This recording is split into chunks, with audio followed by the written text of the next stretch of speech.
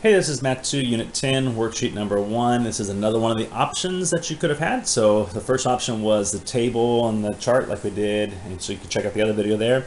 This one is just some more practice uh, graphing the parabolas for the quadratic functions.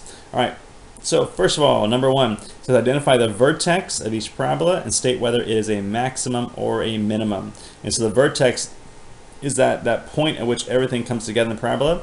And so in this case here, our vertex is located right there, which is at point negative 2, comma, and we'll show negative 2 for the x value, and the y value is up at 1. We say negative 2, comma, 1. And because it's curving down, we would say this one has a minimum value. Over here, our vertex is located right there, which is at 1, 2, and 3 for the x value, and the y value is at 1, 2.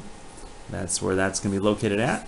And in terms of being maximum or minimum, because it's going up and down, that is the high point. We would call that a maximum.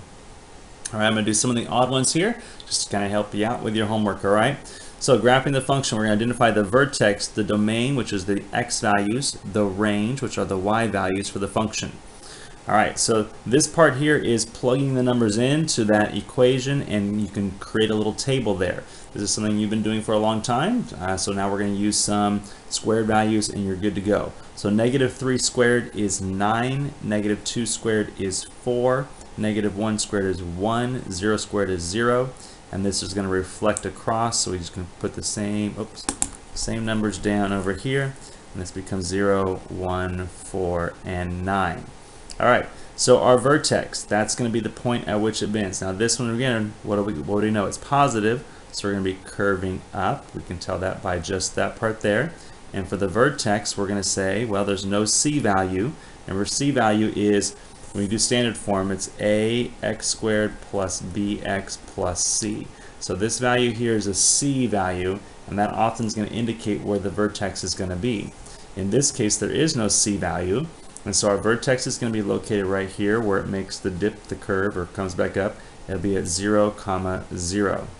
Our domain, in this case, is going to be all value, all real values for x, no problem there. And for the y value, we would say it's everything greater than equal to 0. Again, what we can determine about this part here, I can say again because we just I just did the last worksheet, um, is that because it's positive, it's going to be greater than or equal to, and this value here comes off of that y vertex value. If I plot this out, you have a 0 comma 0 right there. Okay, at 1 we're at 1, so we're here and here. At 2 we're at 4, so 1, 2, 3, 4. And you can reflect it across like that. And then at 3 we're at 9, so 4, 5, 6, 7, 8, 9, 1, 2, 3, 1, 2, 3. And so that's what that one's going to look like, something along those lines. All right. So that's the idea for that first one there. For the odd, the even ones, I'm not going to do them, but I'm going to point out a couple things, right? In this case here, this is a positive x squared, which means our parabola is going to be going up. Okay. We also have a c value right there, which means that our vertex will be at 0, comma 1. All right. So we're going to help you out with that part there, just to plug that in. Okay, and that's going to help you out with a range, which would be y will be greater than and equal to 1. And of course, the, the range, domain is still be all real values of x. And I'll let you graph that one. Number 5. Here we have a number now in front of the quadratic. Before we had x squared, now we have 2. When I put this whole number there, it's going to make the graph become skinnier right? So if x was like this, then 2x becomes more like this, all right? It starts to kind of narrow up.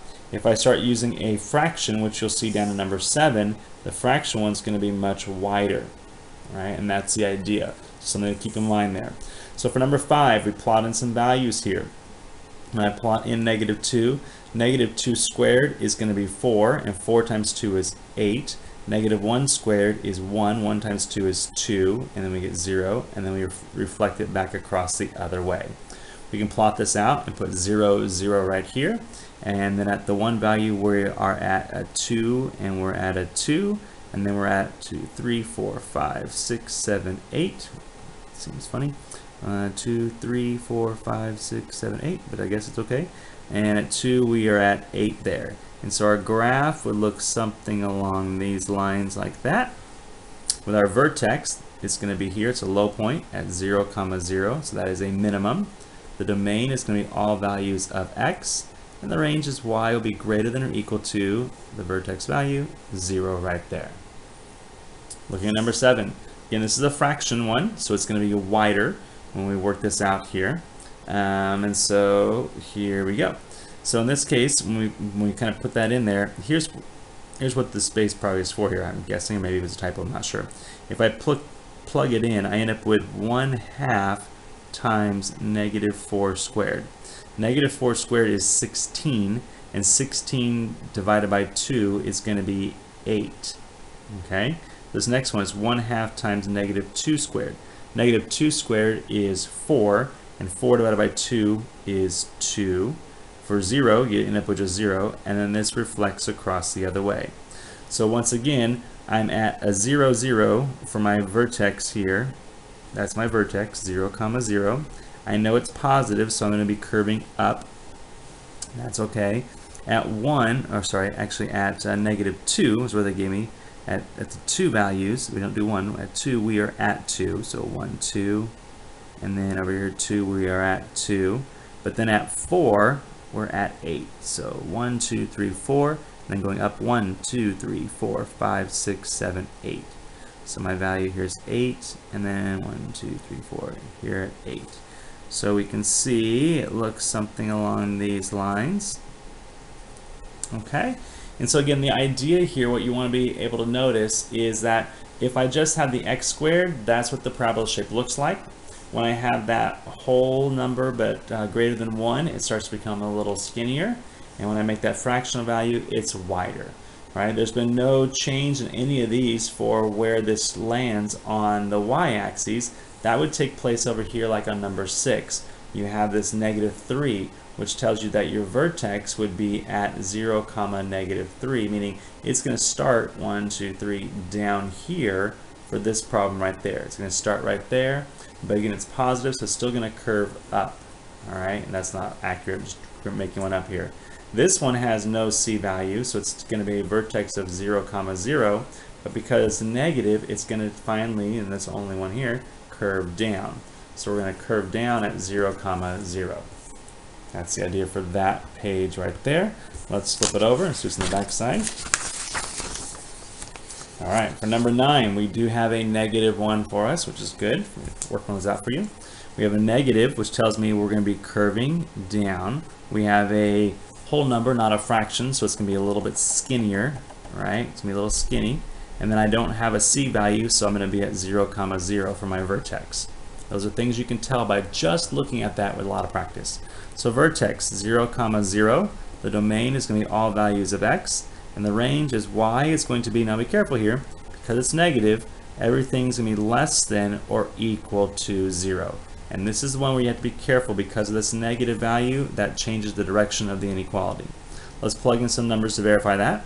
So if I put negative 2 in here, negative 2 squared is 4, and 4, negative 2 squared is 4. And so 4 squared Sorry, my notes are a little different. Uh, so negative 2 squared is 4, and 4 times negative 3 is negative 12. Negative 1 squared is 1. 1 times negative 3 is negative 3. This is 0, and then we reflect it across the other way. So when I plot this, here I'm at 0, 0 is 1 point, and then we're going to go to negative 3, so 1, 2, 3 for the 1 values. And then the two values are going to be at 12, which I don't even have on my paper, so I'm out of space. 1, 2, 3, 4, 5, 6, 7, 8, 9, 10, 11, 12. Let's pretend it's about here. So somewhere down here.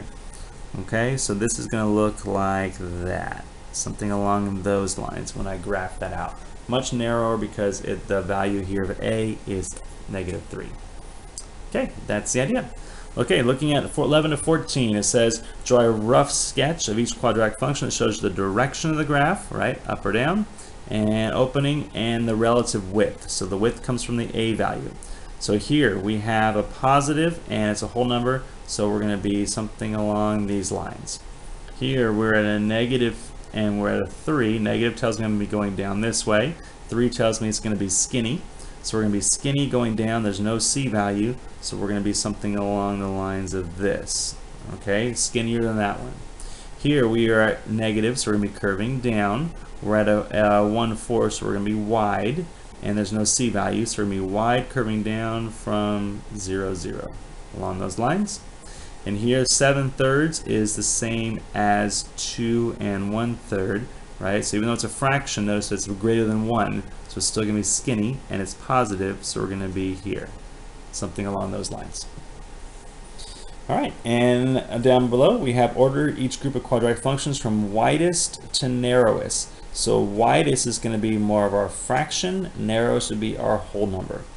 All right, so here we have a negative 2, negative 4, and negative 3.